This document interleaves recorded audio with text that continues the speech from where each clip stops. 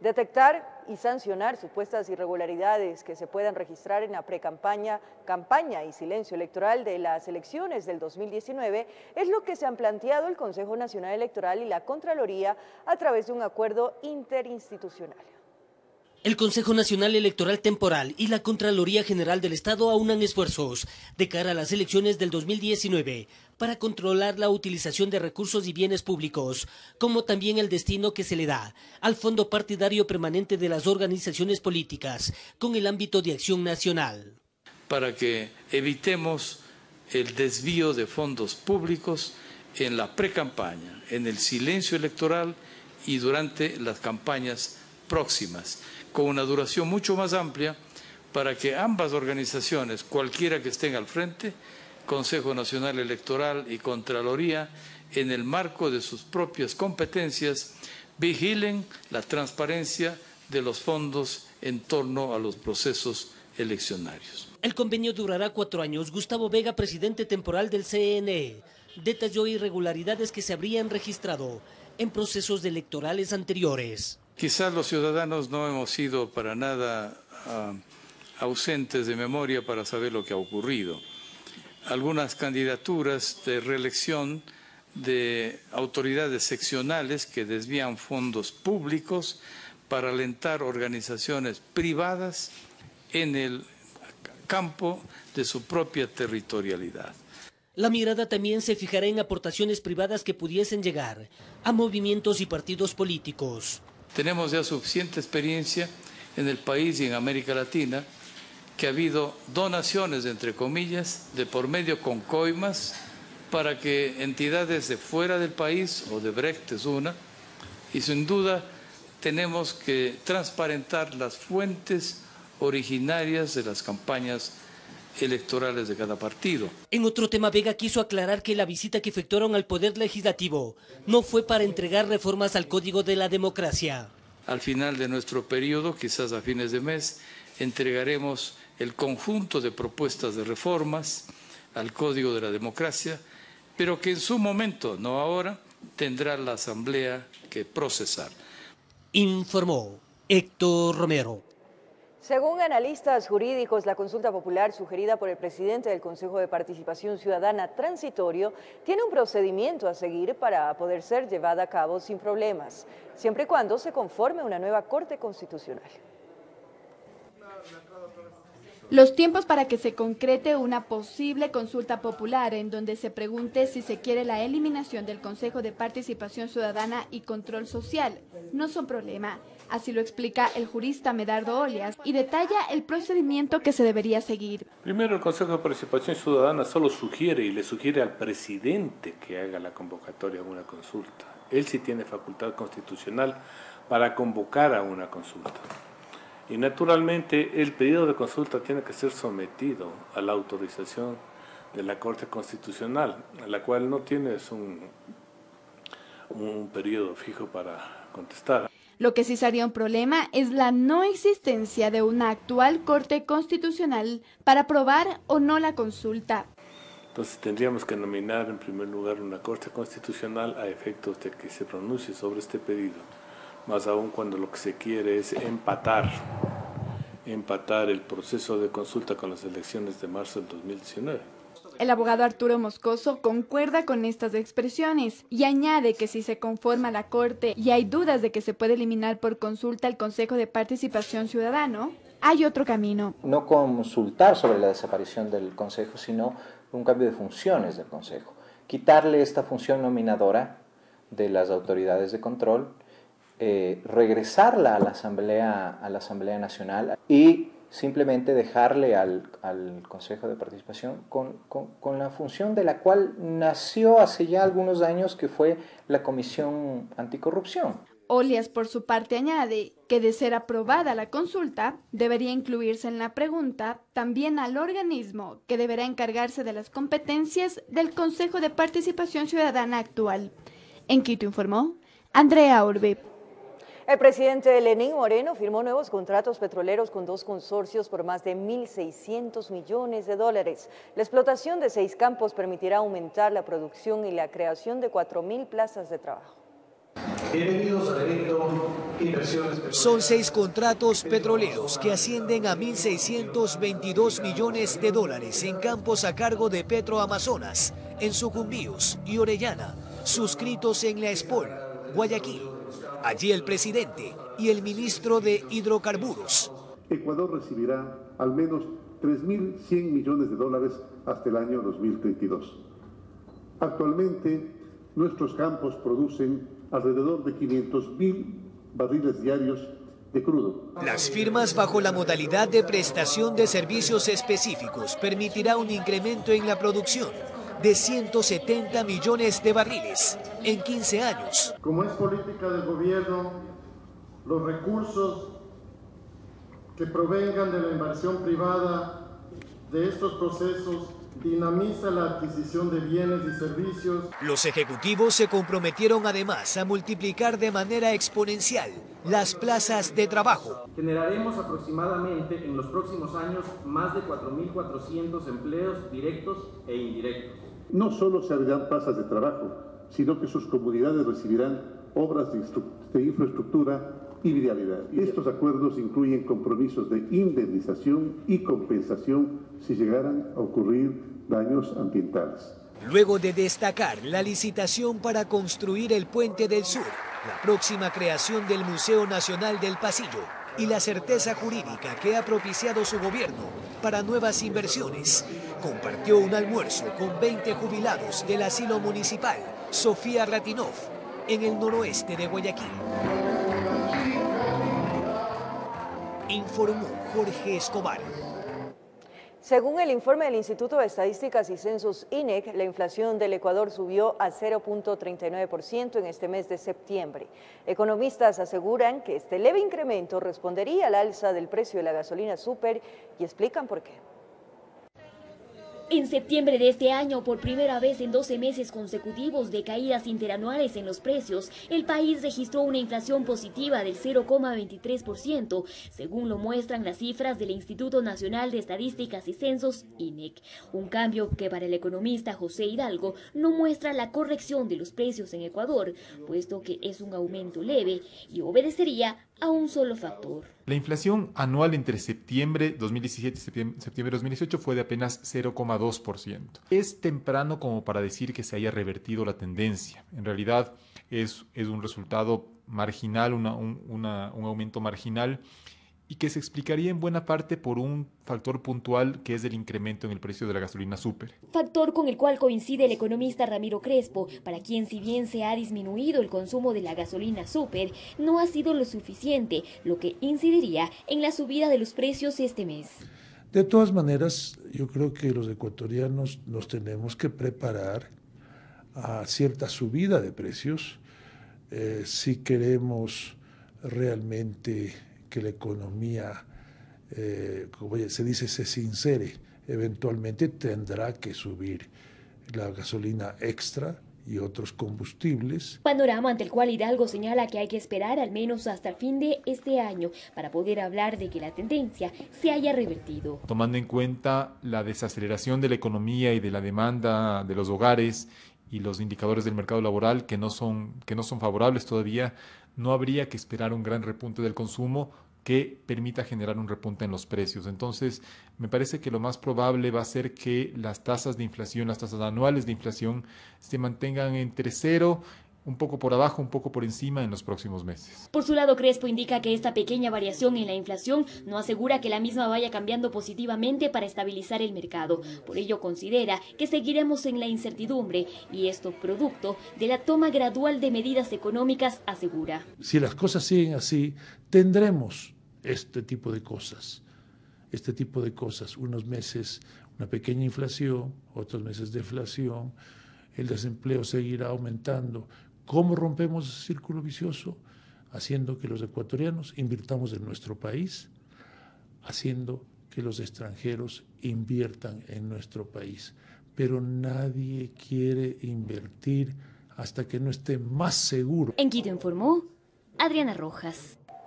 La ministra del Interior, María Paula Romo, visitó la ciudad de Loja. Aquí dio a conocer temas importantes en torno a la seguridad de esta ciudad y sus fronteras. Además, se refirió a la implementación de crear nuevas carreras universitarias que se especialicen en criminalística. La ministra del Interior llegó a la ciudad de Loja. El comando de la policía fue su primera parada. Aquí se reunió con diferentes autoridades para luego dirigirse hasta el ECU 911, en donde dio a conocer temas de seguridad en lo que tiene que ver con la ciudad y provincia de Loja. Los comités provinciales de seguridad tienen la tarea de hacer una mirada, una evaluación de cómo está la situación de seguridad en una provincia y ya se venían realizando, no es una actividad nueva. ¿Qué tiene de nuevo la actividad? Hemos hecho un par de modificaciones en relación al acuerdo ministerial que creaba estos comités. Manifestó también la importancia de pedir a diferentes universidades del Ecuador la creación de una carrera que se especialice en medicina forense para así poder contar con más personal capacitado y que esto ayude a solucionar de una manera más rápida las necesidades en temas de criminalística. Una de las cosas que estamos desarrollando desde el Ministerio del Interior es un acuerdo con varias universidades para abrir la carrera de criminalística en distintas instituciones educativas en el país para que tengamos expertos en cada rincón y no tengamos que mandar pruebas de loja para los médicos legistas en Cuenca, que no tengamos que mandar pruebas de una ciudad para otra provincia que está lejos, porque eso muchas veces dificulta las investigaciones. También dio a conocer que se tomará las medidas necesarias para el Festival de Artes Vivas que se da en Loja, en horarios de atención de centros nocturnos, evitando que en estos días se generen actos violentos. En Loja informó Marcela Constante Brito. La ex canciller María Fernanda Espinosa rindió vía telemática ante la Fiscalía General del Estado su versión libre y voluntaria sobre el caso de secuestro y asesinato de Katy Velasco y Óscar Villasís. Según se refirió el abogado de los familiares de las víctimas, el Estado ecuatoriano no habría realizado acciones para traer con vida a los dos ciudadanos. La ex canciller lo único que manifiesta es que hubo una colaboración que solamente se les informaba, que estaban tratando de buscarles con vida, de ver de qué manera era la forma, pero Colombia, pero a ningún momento no se establece cuál era un plan exacto que tenían que haber realizado para entre Ecuador y Colombia haber recibido la información eficaz de manera escrita para localizar con vida a Oscar y Katy. Directamente aquí debería manifestar el, el, el fiscal cuál fue el tipo de omisión que incurrió, cuál ministro estuvo al frente. La Iglesia Católica expulsó al sacerdote cuencano César Cordero, quien es acusado de abusos sexuales a niños hace más de 50 años. La decisión de la Santa Sede es la máxima pena que la Iglesia puede infligir para estos delitos. La resolución del Vaticano sobre el caso del sacerdote César Cordero, persona acusada de varios supuestos casos de violación a niños hace aproximadamente 50 años, fue dada a conocer por las autoridades de la Arquidiócesis de Cuenca a través de un comunicado de prensa. Al mencionado sacerdote se le siguió un proceso canónico luego de presentadas las acusaciones formales de las supuestas víctimas. Este psicópata me arrancó la vida, me, me destrozó la vida. Nunca más un niño pueda ser violado, pueda ser mancillado. El resultado de dicho proceso es su dimisión del Estado clerical de manera permanente y perpetua en el tiempo. La sentencia es una pena expiatoria que es impuesta solo por delitos, entre ellos violación y homosexualidad y las violaciones más graves de la ley. Esta es la máxima pena que la Iglesia puede infligir en estos casos. Es importante recalcar que la responsabilidad legal no es institucional sino personal. La resolución fue dada a conocer al ex sacerdote. Personas cercanas al doctor Cordero han evitado dar comentarios. La doctora María Palacios, representante de las seis supuestas víctimas, manifestó su satisfacción por la sentencia. Es un logro porque la justicia se hizo, porque no importa los poderes que tengan los seres humanos. La doctora Palacios dejó claro que seguirán ahora la lucha en la justicia ordinaria. Alzas seguirá al pie de la lucha para tratar de que la justicia ordinaria también haga su papel. El sacerdote además no tiene derecho a recibir apoyo económico de la comunidad religiosa, informó desde la ciudad de Cuenca Francisco Ramírez. Dos docentes de un colegio fiscal de Guayaquil fueron sentenciados tras ser acusados de violar a varios estudiantes. A continuación los detalles. La madrugada de este viernes, culminó la audiencia de juzgamiento en contra de dos profesores del colegio Réplica Aguirre Abade, en Guayaquil, acusados del delito de violación. Ya sentenciados por parte de un tribunal de garantías penales a 29 años, 4 meses. Delito de violación eh, que fue obviamente realizado dentro de la unidad educativa réplica Aguirre hacia varios infantes entre 7 y 8 años de edad. El caso se registró en octubre del 2017 y causó conmoción social. La Fiscalía presentó toda la prueba pertinente, documental, pericial, testimonial. Los jueces acogieron el pedido de la Fiscalía. Por su parte, el abogado defensor de los estudiantes se muestra de acuerdo con la resolución del Tribunal de Garantías Penales. Porque se ha hecho justicia a los niños, se ha hecho justicia sobre todo a, los padres de familia. Las pruebas contundentes fueron los testimonios de los niños. Los niños nunca dejaron de indicar cómo fueron eh, brutalmente agredidos, sexualmente agredidos dentro de los baños de la institución. Entre tanto que familiares y compañeros de los procesados realizaron un plantón en los exteriores de la Fiscalía. Aseguran que los docentes Montoya y Bajaña son inocentes.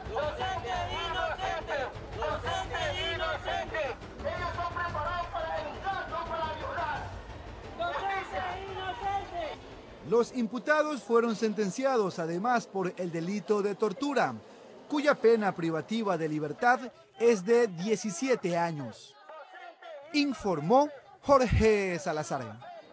En el kilómetro 20 de la vía Loax Santo Domingo, un vehículo se fue al fondo de un abismo. El chofer y único ocupante fue rescatado con vida circulaba en sentido Aloac Santo Domingo. Por razones aún no establecidas, el chofer del vehículo perdió pista y se fue al fondo del abismo. Los ocupantes de la vía observaron el accidente y avisaron al EQ 911, que inmediatamente despachó equipos de rescate y ambulancia de los bomberos de Machachi.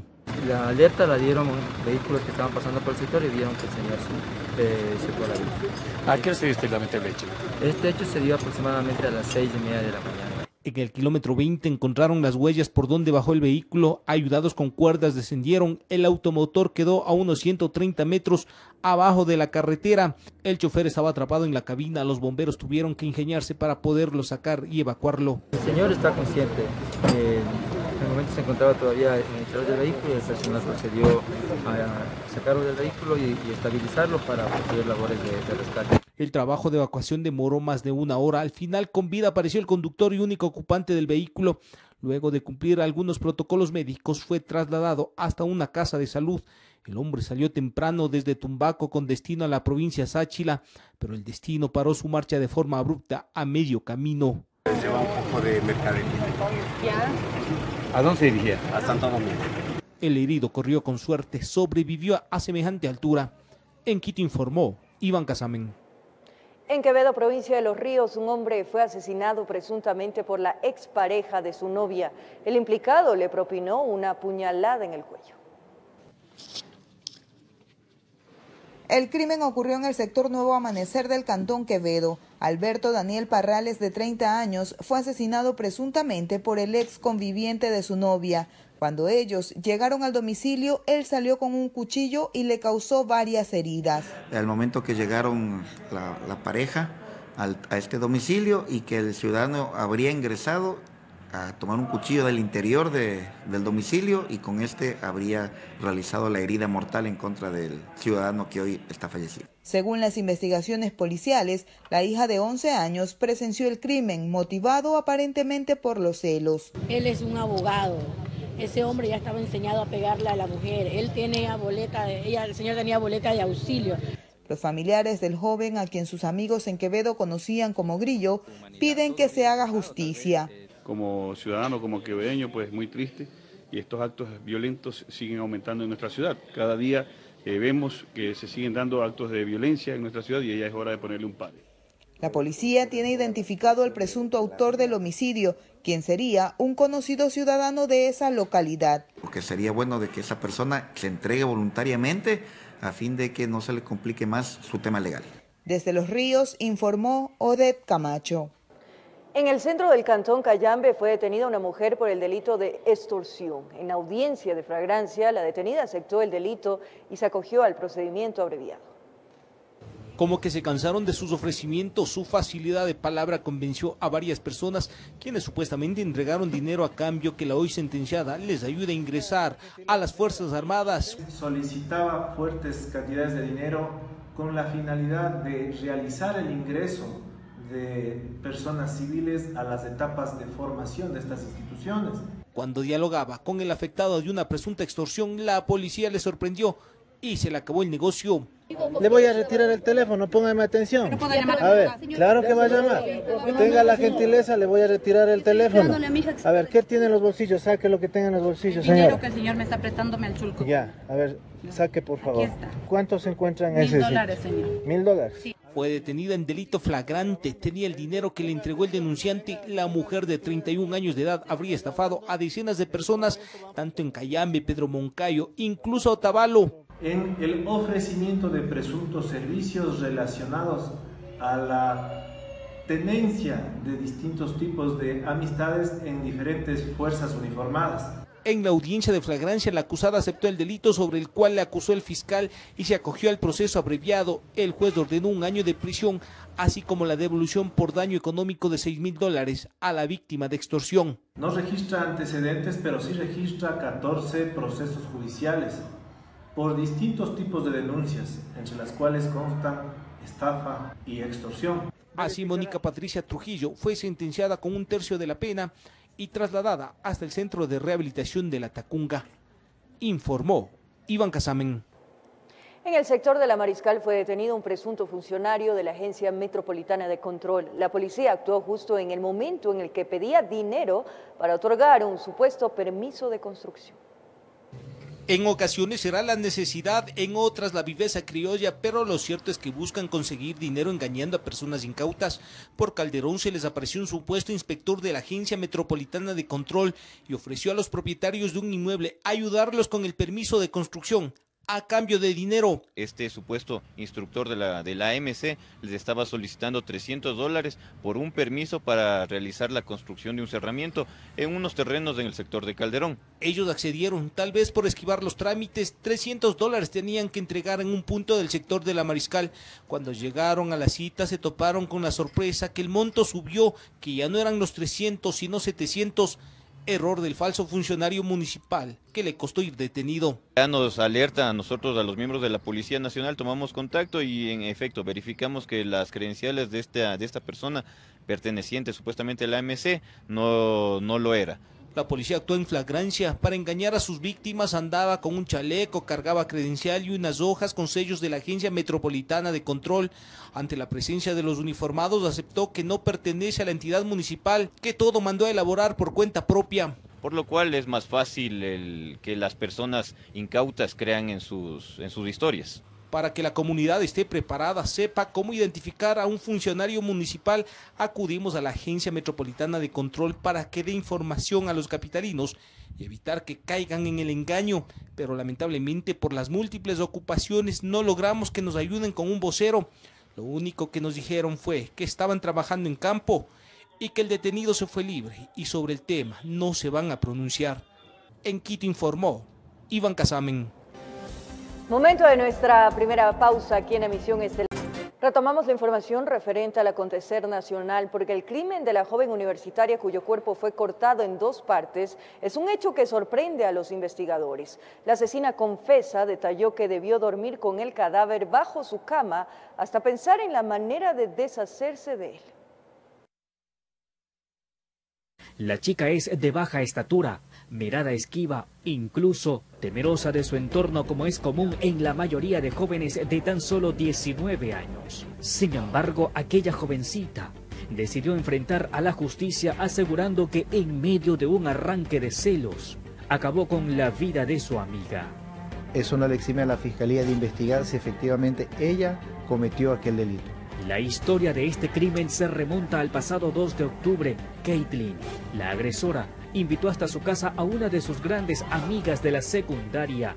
Le aseguró que deseaba hablar con ella porque ya se había enterado que estaba saliendo con su ex enamorado. Con un arma blanca procede a empezarle a reclamar a la víctima y utilizando un cable de luz procede a estrangularle reclamándole el por qué tenía esta relación. Cometido el crimen, sintió la necesidad inmediata de deshacerse del cadáver. Su primera idea fue cortarla en varias partes. Es así que con la misma arma blanca trata de cortar la cabeza de la víctima para empezar a desmembrarle. Tuvo una segunda idea que tampoco le resultó. Ella toma alcohol y procede lanzar el alcohol sobre su cara. Eh, lo que consigue es, una vez que prende fuego, es que se queme únicamente su cabello. Sin saber qué hacer y consciente de que su progenitora y sus hermanos menores llegarían en cualquier momento, se le ocurrió ocultar el cadáver bajo su cama. Lo escondió entre peluches y almohadas para evitar que se den cuenta. Y así pasó la noche. La mañana del miércoles ella se levantó como era su costumbre, atendió a sus hermanos menores y hasta los preparó para que vayan a la escuela. Una vez que su progenitora salió a trabajar, volvió a pensar en la forma de eliminar la evidencia. Va y compra un machete donde pide que se le afile ese machete como que va a matar un puerco y regresa y decide partir en dos el cadáver de la oxisa. Guardó las partes en fundas de basura, pidió prestado un triciclo, luego solicitó a un vecino que pasaba por el lugar para que le ayude a subir los paquetes hasta el transporte. Finalmente, le ofreció 5 dólares a un primo menor de edad para que le ayude a empujarlo. Sin embargo, cinco cuadras más adelante, una de las bolsas se cayó y con eso se acabó la perfección de su plan. La jueza, a pedido la Fiscalía, dictó prisión preventiva en contra de la ciudadana ya procesada y dispuso el tiempo de duración de instrucción fiscal de 90 días. No creo en lo personal y en lo profesional que ella tenga un cuadro esquizofrénico. Ya ha habido una premeditación, una planificación, hay una alevosía en el momento de hacer eh, este tipo de delito. Informó José Morales.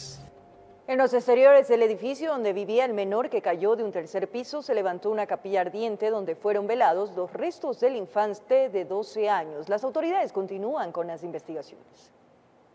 Varios compañeros del menor que falleció al caer de un tercer piso en el Cantón La Libertad visitaron la capilla ardiente que se levantó en los bajos del edificio donde habitaba el estudiante de 12 años. Padres de familia lamentaron la situación. Apenados todos aquí porque es un niño que tiene 12 años y yo creo, yo creo que tuvo miedo de que ha sacado malas notas, ¿no? Eso es algo normal, pero también vemos que es un poquito de presión de parte de los padres, que si no sacas buena nota, le pueden pegar alguna cosa así, entonces el niño está como traumado y buscó, buscó lo más fácil, ¿no? Qué pena que me da, falta de, falta de comprensión de los padres e hijos, ¿no? De comunicación. Sí, sí, está en el noveno año, sí. No sabemos realmente por qué ha pasado. Un profesional psicólogo clínico nos manifestó cuál es su apreciación en torno a lo sucedido. Existen una serie de factores. Todo el entorno familiar, el entorno este, educativo, tienen que ver mucho con la decisión que él tome.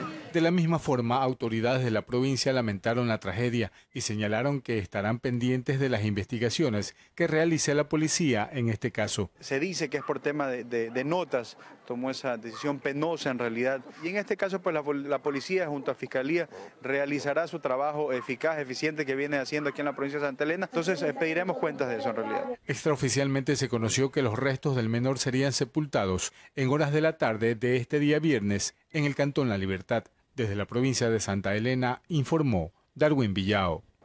Cambiamos de tema. El Cuerpo de Bomberos de Quito desmintió que haya existido una descoordinación entre el Cantón Mejía y el Distrito Metropolitano de Quito para sofocar las llamas en el Atacazo. Esto tras presuntos reclamos ciudadanos por los daños que generó el incendio en el cerro. El sábado 29 de septiembre, decenas de llamadas ingresaron al sistema EQ911 reportando el incendio forestal suscitado en el Cerro Atacazo. Según las autoridades, las alertas se registraron simultáneamente en varios cantones. No todas las llamadas ingresan al EQ Quito. Muchas debieron haber ingresado al EQ eh, Entonces, nosotros atendemos un despacho por una llamada que ingresa a Quito de un incendio en el Atacazo. Sin embargo, varios ciudadanos realizaron reclamos por la atención que recibieron al momento de reportar la emergencia, además de cuestionar los tiempos de respuesta. Fueron varias las llamadas que yo sé que están grabadas, pidiéndoles desesperadamente que vayan. A ver, yo incluso en mi teléfono tengo un mensaje de voz de uno de los bomberos de no sé si es uno de los bomberos de los operadores del 911, diciendo que está subiendo, está subiendo dos camionetas y un tanque cisterna para apagar el incendio, que por favor esté atenta. Esto es alrededor de las 7 de la noche. Hasta el día de hoy no ha llegado absolutamente nadie. De acuerdo a información oficial, con la ayuda del helicóptero, los bomberos de Quito, tras los reportes, realizaron en la zona un sobrevuelo, en el cual se determinó la magnitud, ubicación, focos de propagación y hasta la temperatura de las zonas afectadas. Y eso se deriva al personal de tierra y obviamente ya con los sistemas de GPS sabemos exactamente dónde es y cómo podemos entrar. Una vez en el lugar, los bomberos del Cantón Quito y Mejía, con la ayuda del ejército, coordinaron acciones conjuntas para atender la emergencia. Tenía dos líneas de propagación, el lado norte que era Distrito Metropolitano y el lado sur que era Cantón Mejía. Simplemente hay una coordinación entre responsables de operaciones y Quito se dedica de combatir el flanco norte y bomberos machachi más militares se dedican a combatir el lado sur. Luego de cinco días de arduo trabajo, miembros de la casaca roja lograron extinguir el incendio. Las primeras evaluaciones determinaron que fue provocado, por lo cual los representantes de ambas jurisdicciones presentaron la denuncia pertinente a la Fiscalía, informó Sofía Vintimilla. 187 barrios en el sur de Quito no tendrán suministro de agua potable desde el sábado 6 hasta el domingo 7 de octubre. Cerca de 55 tanqueros abastecerán de líquido vital a la población. El cambio de una válvula sería la causa para la suspensión del suministro de agua potable en el sur de Quito durante este fin de semana. Su tiempo de vida útil eh, está cumplido y es necesario reemplazarla.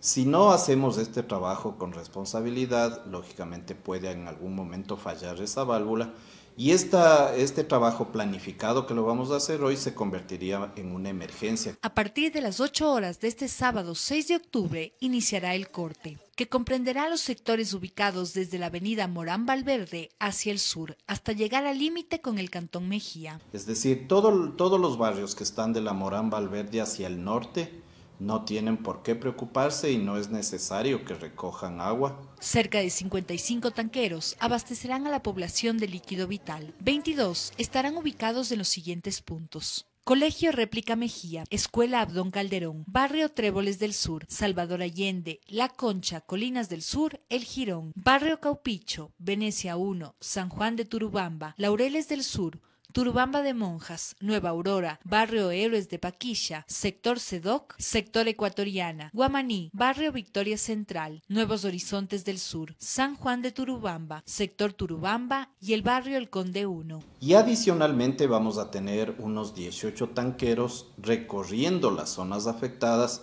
y también en los sitios vulnerables como son hospitales, clínicas, ancianatos. Se recomienda a la ciudadanía provisionarse solo del agua necesaria para solventar las tareas del hogar por dos días. A partir de las 24 horas del domingo 7 de octubre, el servicio se reanudará paulatinamente, informó Sofía Vintimilla. 123 tortugas desaparecieron del centro Arnaldo Tupiza en Galápagos. El Ministerio de Ambiente dio a conocer que esta información fue puesta en conocimiento de las autoridades de la Fiscalía de la isla de Santa Cruz el pasado 27 de septiembre y que hasta el momento las investigaciones sobre el caso continúan. El hecho salió a la luz el 4 de octubre luego de que el asambleísta de Creo, Washington Paredes, diera a conocer la noticia. Más de 40.000 efectivos de la Policía Nacional garantizarán la seguridad durante este feriado del 9 de octubre. Las operaciones se priorizarán en los puntos críticos donde se registra mayor accidentabilidad. El operativo de control y seguridad arrancará este viernes a partir de las 12 horas hasta el próximo martes 9 de octubre 12 del día. La Policía Nacional ha puesto a disposición en todo el país 44.150 efectivos, de los cuales 2.835 operarán en el Distrito Metropolitano de Quito. Que controlarán los diferentes espectáculos, tanto deportivos y eventos culturales que se desarrollarán durante este feriado en los terminales terrestres y ejes viales. Recomiendan a la ciudadanía que en caso de salir de viaje se acoja al encargo de domicilio. el único requisito es acercarse a la UPC más cercana y llenar un formulario.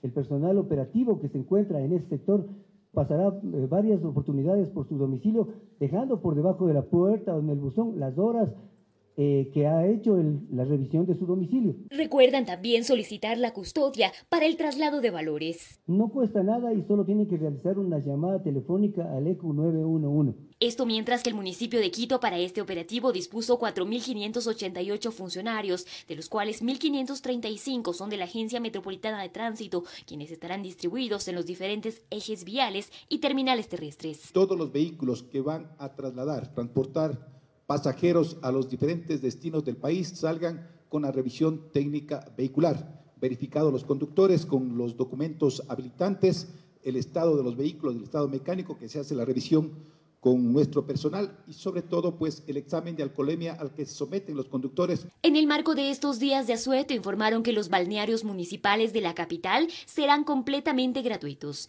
En Quito informó Adriana Rojas. La llegada de ciudadanos venezolanos que buscan ingresar al Ecuador continúa en aumento. El flujo supera los 1.500 extranjeros diarios. Por otra parte, las autoridades locales preparan un plan de contingencia para este feriado debido a la gran afluencia de turistas que traten de cruzar a Colombia por el favorable cambio de moneda. La extensión del estado de emergencia aumenta el flujo de migrantes por esta frontera. De acuerdo al reporte oficial, el ingreso hasta el mes de septiembre rebasó el millón de extranjeros que cruzaron a Ecuador por el puente de Rumichaca, mientras que desde la terminal terrestre el registro de venezolanos que buscan llegar hasta el Perú tiende a subir. El indicador de paso de los eh, de las personas de movilidad humana de origen venezolano superó el 1.114.000 es decir, hasta la presente fecha. Hemos tenido un aumento, ahorita estamos manejando entre 1.500 y 2.000 personas diarias. El corredor humanitario que prestará el servicio desde esta noche a los cientos de venezolanos que continúan llegando no disminuye el flujo en la terminal terrestre, ya que dicen que las unidades de transporte público les brindan una mejor atención. A partir de las 8 de la noche llega a Rumichaca ya un vehículo trasladado de la ciudad de Quito para el control de los extranjeros. Ellos se dan cuenta de que la calidad del transporte es mejor la que ofrece el terminal terrestre de la ciudad de Tulcán. Mientras esto ocurre con el ingreso de extranjeros, las autoridades se preparan para recibir a turistas que lleguen en este feriado, atraídos por el cambio de moneda que beneficia las compras en el lado colombiano. En la provincia del Carche, el 100% de las vías se encuentran habilitadas.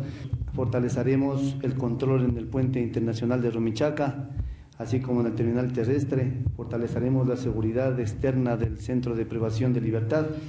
Por su parte, el ejército también mantiene los controles en coordinación con Policía Nacional, tanto en los pasos ilegales como en el puente internacional de Rumichaca. Las operaciones que se ejecutan son el control de contrabando, eh, control de tráfico de armas, explosivos y municiones, y específicamente también la protección de la frontera a través de sus destacamentos desplegados en el límite político internacional. Desde Tulcán informa Miriam Enríquez. El calentamiento global, la invasión del humano a espacios considerados protegidos y el irrespeto al medio ambiente ha causado que decenas de animales busquen nuevos espacios para vivir. En ese sentido, la Reserva Ecológica Llana Urpi es uno de sus paraísos terrenales que hoy albergan a un sinnúmero de especies. Para entender un poco las actividades que se llevan adelante en la Reserva Ecológica Llana Urpi, hemos tenido que venir caminando por lo menos un kilómetro por el río Machay. Ahora estamos a pocos minutos de encontrarnos con una de las activistas de esta zona. Después de avanzar por un largo trayecto, hicimos contacto con Alegría Sotomayor. Ella nos comentó que este lugar denominado Yanaurpi pertenece a la Reserva Ecológica de los Dilinizas. Ya en el Ecuador están desapareciendo muchas áreas protegidas y este se ha convertido en, en una zona de refugio, especialmente ahora el tema sobre el calentamiento global, está eh, forzando a las aves a quedarse en ciertos lugares donde ellos buscan refugio. Según Sotomayor, decenas de especies de otros lugares geográficos han hecho de este su hogar. Han llegado aves aquí que supuestamente solamente existen en el área de Tandayapa, Mindo, tenemos quetzal, tenemos el umbrella verde, el pájaro paraguas. Razón, según ella, suficiente para que la comunidad se apodere de la belleza de su tierra. Y en esto afirman, es importante la vinculación y motivación de los adultos hacia las nuevas generaciones. ¿Y antes qué hacían con el bosque? Les cazaban y les mataban. ¿Y ahora?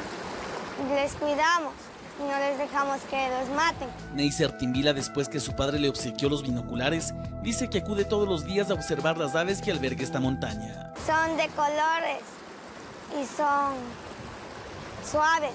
Quienes protegen esta zona que forma parte de las estribaciones del Chocó intentan generar conciencia en propios y extraños, para que puedan disfrutar de la naturaleza sin necesidad de dañar los bosques. En estas 160 hectáreas de terreno, los turistas nacionales como extranjeros pueden acercarse a realizar observación de aves e incluso tomar fotografías. Sin embargo, deben guardar una distancia prudente, pues podrían alterar su hábitat natural.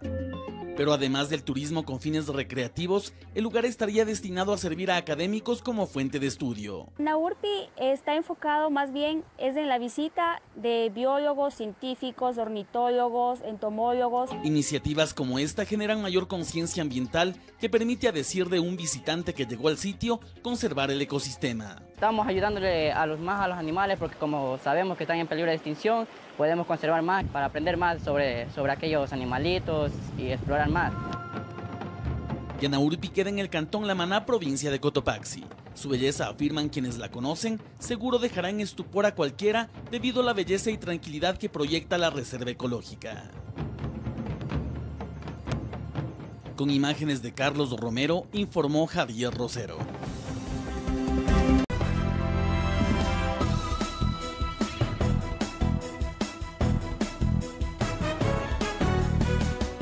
De despedirnos amigos, pero queremos decirles que se pueden mantener informados este día lunes de feriado, mientras usted descansa con su familia y seres queridos.